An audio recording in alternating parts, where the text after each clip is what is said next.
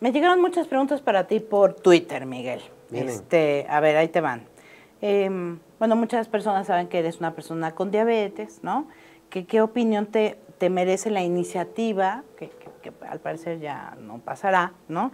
De bajarle 50% impuesto a las refresqueras. Es, era un, es un asunto que se hizo, creo, en un momento de irreflexión en la Cámara de Diputados. ¿De irreflexión o de...? No, bueno.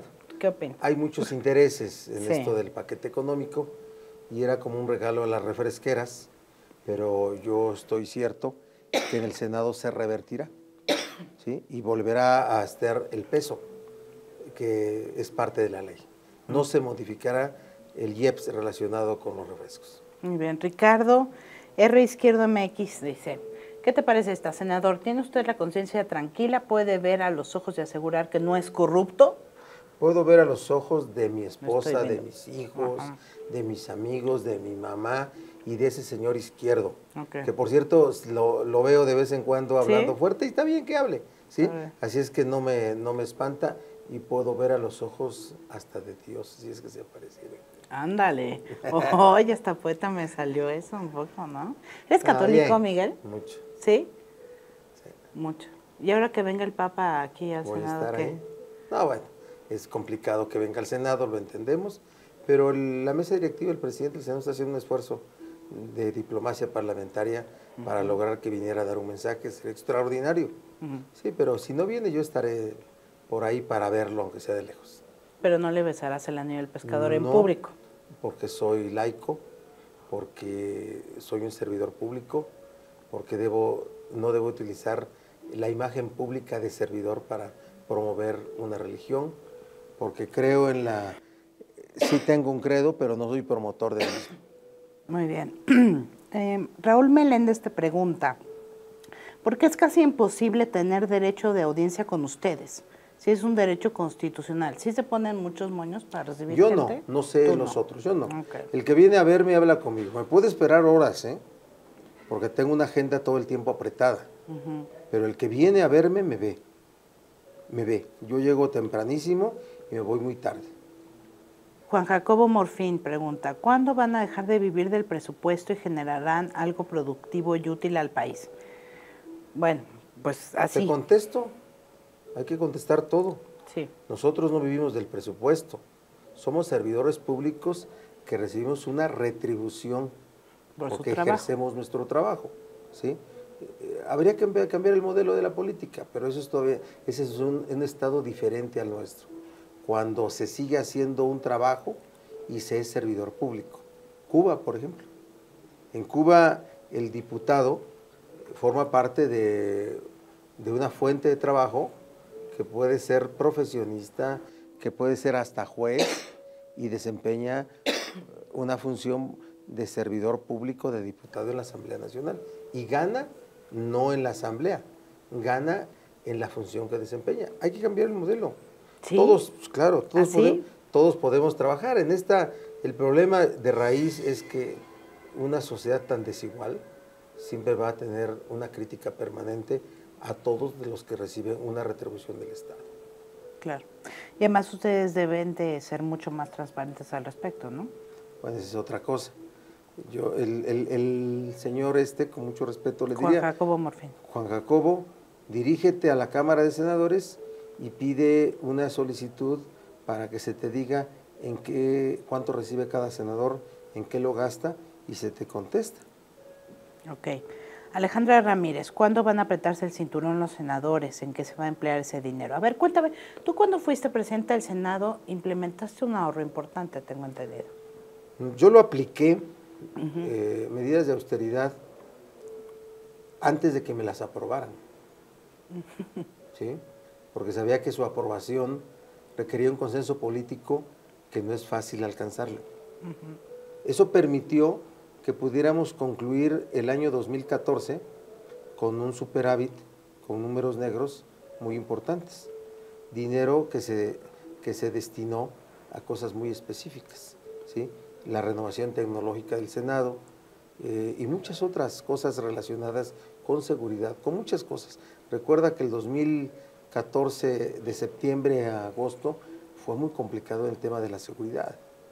Las marchas eran permanentes, sobre todo en septiembre, diciembre, había mucha presión social eh, justificada para muchos, o no justificada, pero son, no, es, no es motivo de mi calificación. Así es que sí implementamos medidas de austeridad, nos funcionó.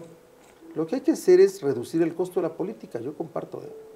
comparto que los partidos políticos le cuesten menos, ¿sí? le cuesten menos al erario, a las finanzas de la nación, y comparto que las instituciones funcionen con menos. Yo sí lo comparto. Sin embargo, el presupuesto viene igualito para partidos políticos. Viene igualito y están queriendo más cosas, ¿no? Siempre aspiran a más cosas. Yo veo una evolución muy sana. Aspiran, lo dices como si tú no pertenecieras a un partido político. Yo, yo, sí pertenezco, pero no estoy dentro de la estructura funcional del PRD. Hoy soy senador de la República. Y entonces te diría... ¿Y has pintado tu raya, no, Miguel? Como muy claramente. Bueno, he pintado mi, mi raya... ¿O cómo lo defines? Bueno, he pintado mi raya de las acciones, de las decisiones que ha tomado la dirección del partido. Y lo he dicho públicamente. Sí creo que no estamos yendo por el camino correcto. Eres como un senador en rebeldía.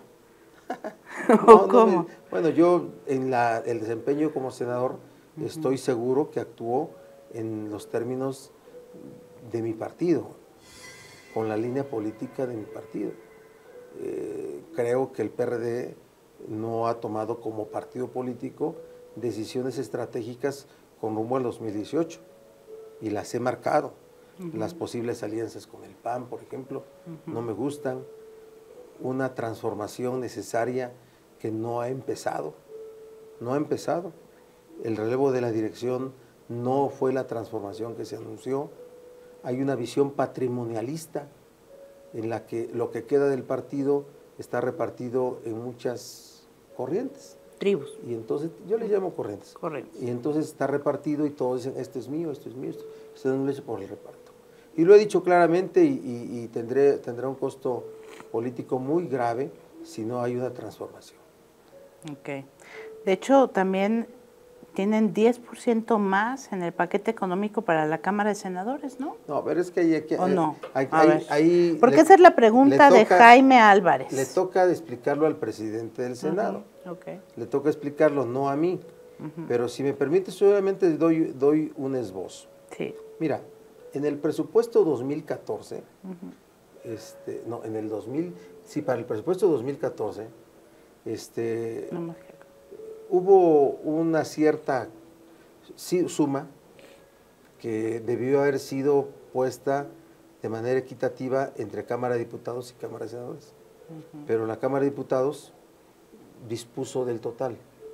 Entonces, el presupuesto en Cámara de Diputados en ese año, en diciembre, perdón, en, la fecha en que se aprobó en, en el 2013 para el presupuesto 2014, dio una disminución que no correspondía a poder solventar los gastos del Senado. ¿sí? Hoy lo que se hace es solamente hacer no un aumento, sino el equilibrio de lo que debería es el costo del Senado. Es mucho, yo lo comparto que sea mucho, pero es un asunto que tendrá que resolverse desde las instancias del Senado. Así está, vamos a ver qué autoriza diputados para este periodo, pero Estamos listos a nosotros para que no se autorice lo que se pidió. ¿eh?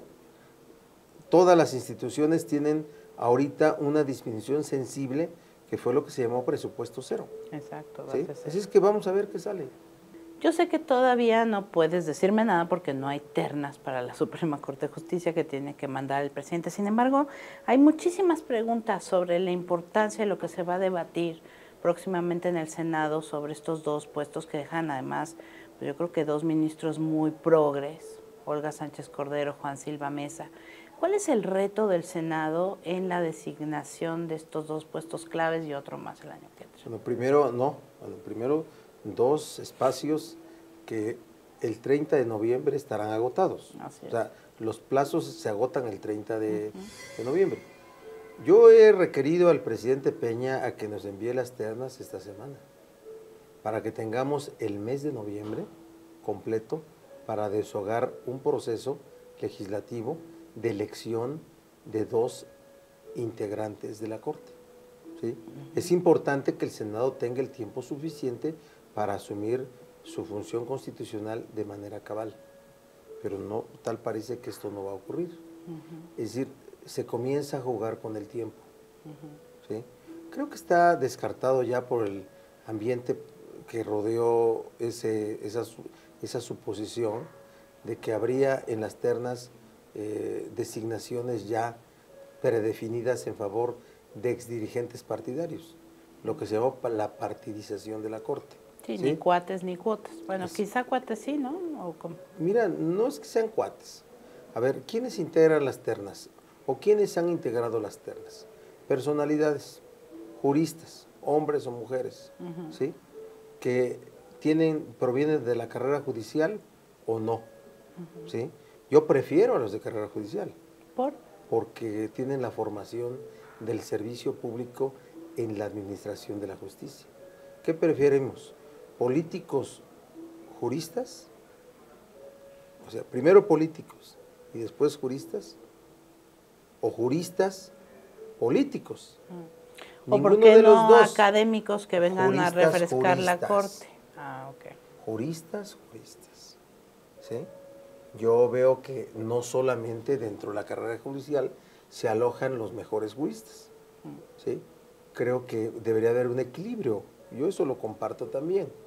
Lo que no se vale es que se esté negociando entre el PRI, perdón, no entre el PRI, entre el gobierno y el PAN, esas ternas para que vengan ya con preferidos, uno del gobierno o del PRI y uno del PAN.